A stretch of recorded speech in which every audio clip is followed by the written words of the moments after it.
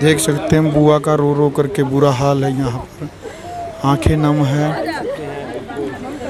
चार साल के मासूम बेटे को अभी तक न्याय नहीं मिला है। दुख की लहर यहाँ पर ये तमाम तस्वीरें आप ग्राउंड मीडिया चैनल के माध्यम से देख सकते हैं कि एक चार साल का बेटा जस जिसको मौत के घाट उतार दिया जाता है। यहाँ पर आप देख सकते हैं कि बुआ का रो रो करके बुरा हाल है।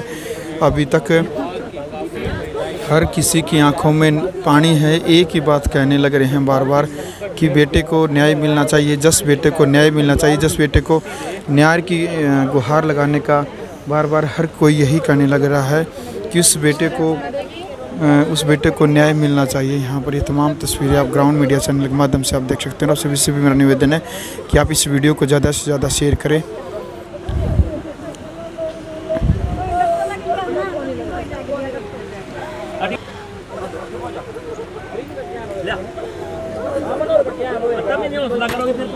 बुआ का है जो रो रो करके बुरा हाल है और हर किसी का ही है क्योंकि जस बेटा केवल कमालपुर गाँव का बेटा नहीं था, ये पूरे देश का बेटा था। पूरा देश केवल एक ही बात कहने लग रहा है कि उस चार साल के मासूम बेटे को न्याय मिलना चाहिए। उस चार साल के मासूम बेटे को न्याय मिलना चाहिए। हर कोई केवल एक ही बात कहने लग रहा है बार बार यहाँ पर आप देख सकते हैं कि बुआ का हम ये को मशीन ये पुनिया खाए जा पी के रखी थी भी हमें बोल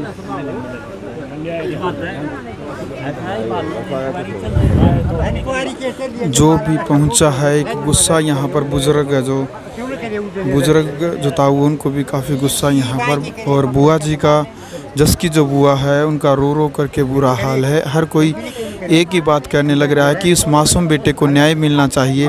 न्याय की गुहार बार बार ये पूरा परिवार लगा रहा है और आप सभी से भी मेरा निवेदन है कि आप इस वीडियो को ज़्यादा से ज़्यादा शेयर करें। रो रो करके बुरा हाल है। बार बार परिवार की तरफ़ से एक ही बात कह रहे हैं कि ये छोटी, आप देख सकते हैं कि जो जस की जो बड़ी बहन है, एक बड़ी बहन और एक जस, दो भाई बहन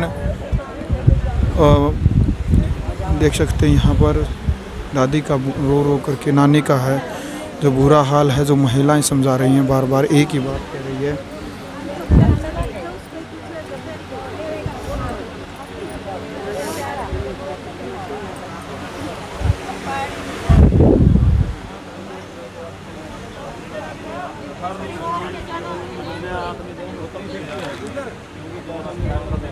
चलो भाई, जस बेटे के न्याय को लेकर के कमेंट बॉक्स में आप अपनी राय रखें और क्या कुछ कहना चाहेंगे। प्रशासन ने हालाँकि इस पूरे हत्याकांड को लेकर के अपना पल्ला झाड़ लिया और कहा है कि इसमें मुख्य आरोपी है, जो अंजलि है। और अंजलि के बाद कह रहे हैं कि केवल राजेश की माँ और पत्नी का केवल इतना ही कसूर है कि उन्होंने डेड बॉडी को अपनी छत से दूसरे की छत पर डाला है। उनका किसी और का और कोई इसमें कसूर नहीं है।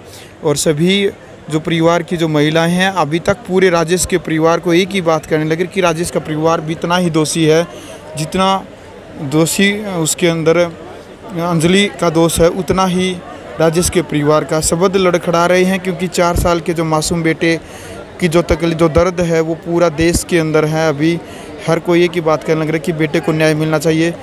आप वीडियो को शेयर करें ग्राउंड मीडिया के लिए मैं जब भारद्वाज राष्ट्र निर्माण की जानकारी के लिए ग्राउंड मीडिया चैनल को सब्सक्राइब करें और शेयर करें।